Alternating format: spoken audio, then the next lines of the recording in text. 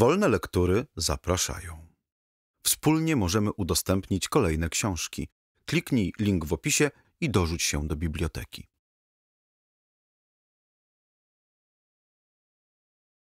Dziady. Poema. Upiór. Serce ustało, pierś już lodowata. Ścięły się usta i oczy zawarły. Na świecie jeszcze, lecz już nie dla świata. Cóż to za człowiek umarły? Patrz, duch nadziei życie mu nadaje, gwiazda pamięci promyków użycza. Umarły wraca na młodości kraje, szukać lubego oblicza. Pierś znowu tchnęła, lecz pierś lodowata. Usta i oczy stanęły otworem, na świecie znowu, ale nie dla świata. Czymże ten człowiek? Upiorem. Ci, którzy bliżej cmentarza mieszkali, wiedzą, iż upiór ten co rok się budzi. Na dzień zaduszny mogiłę odwali i dąży pomiędzy ludzi. Aż gdy zadzwonią na niedzielę czwartą, wraca się nocą opadły na sile, z piersią skrwawioną, jakby dziś rozdartą, usypia znowu w mogile. Pełno jest wieści o nocnym człowieku, żyją, co byli na jego pogrzebie. Słychać, iż zginął w młodocianym wieku, podobno zabił sam siebie. Teraz zapewne wieczne cierpi kary, bo smutnie jęczał i płomieniem buchał. Niedawno jeden zakrystyjan stary obaczył go i podsłuchał. Mówi, iż upiór, skoro wyszedł z ziemi, oczy na gwiazdę poranną wywrócił. Załamał ręce i usty chłodnemi takową skargę wyrzucił. Duchu przeklęty, po co śród parowu nieczułej ziemi ogień życia wzniecasz? Blasku przeklęty, zagasłeś i znowu, po co mi znowu przyświecasz? O sprawiedliwy, lecz straszny wyroku, ujrzeć ją znowu, poznać się, rozłączyć i com ucierpiał, to cierpieć co roku i jakem skończył, zakończyć. Żebym cię znalazł, muszę między zgrają błądzić z długiego wyszedłszy ukrycia, lecz nie dbam, jak mnie ludzie powitają, wszystkiegom doznał za życia. Kiedyś patrzyła, musiałem jak zbrodzień odwracać oczy, słyszałem Twe słowa, słyszałem co dzień i musiałem co dzień milczeć jak deska grobowa.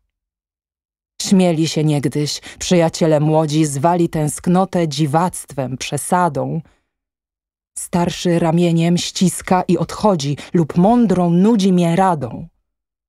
Śmieszków i radców zarówno słuchałem, choć i sam może nie lepszy od drugich. Sam bym się gorszył zbytecznym zapałem lub śmiał się z żalów zbyt długich. Ktoś inny myślał, że obrażam ciebie, uwłaczam jego rodowitej dumie. Przecież ulegał grzeczności, potrzebie, udawał, że nie rozumie.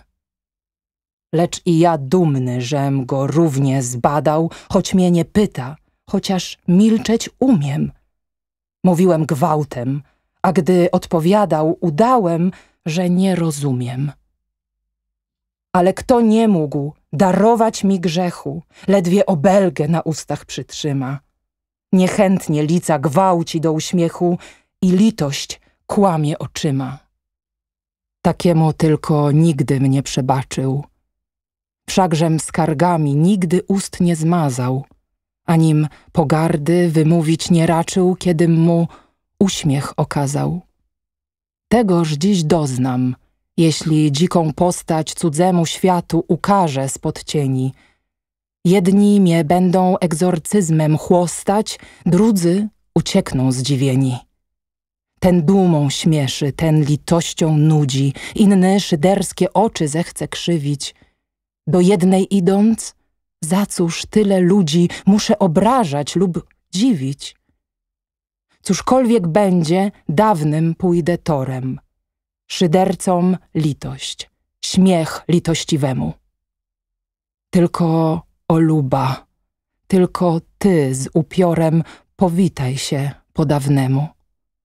Spojrzyj i przemów, daruj małą winę, że śmiem do ciebie raz jeszcze powrócić.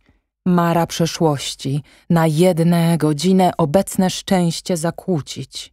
Wzrok twój nawykły do świata i słońca może się trupiej nie ulęknie głowy i może raczysz cierpliwie do końca grobowej dosłuchać mowy i ścigać myśli po przeszłych obrazach, błądzące jako pasożytne ziele, które śród gmachu starego po głazach rozpierzchłe gałązki ściele.